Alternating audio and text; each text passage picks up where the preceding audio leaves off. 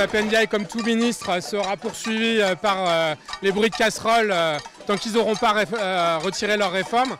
Et puis deuxième élément, on a quand même un gros sujet de contentieux en ce moment avec le ministre sur la question de la revalorisation des personnels de l'éducation nationale. Et donc du coup, on tenait à signaler à l'occasion de sa venue.